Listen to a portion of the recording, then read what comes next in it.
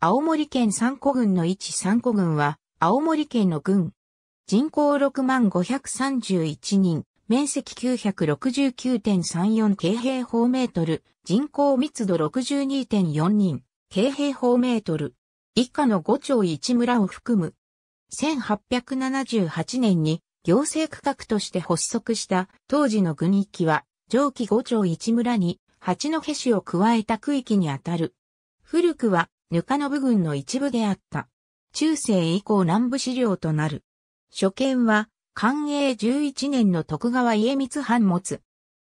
1、八戸町2、長者村3、瀬川村4、港村5、大館村6、立村7、下長名城村8、地引村9、中井村10、中沢村11、と川村12.3古町13、小中野村14、鮫村15、海上村16、上町縄城村17、北川村18、島森村19、田辺村20、富崎村21、猿辺村22、田子村23、高村24、五戸村25、鹿川村26、トライソン27、浅田村28、上里村29、平良崎村30、川内村31、倉石村32、野沢村33、豊崎村。